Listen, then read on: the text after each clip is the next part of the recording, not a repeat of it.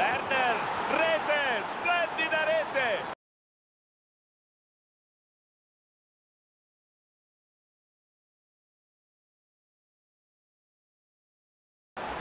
Quello del portiere, ovviamente un ruolo crudele, si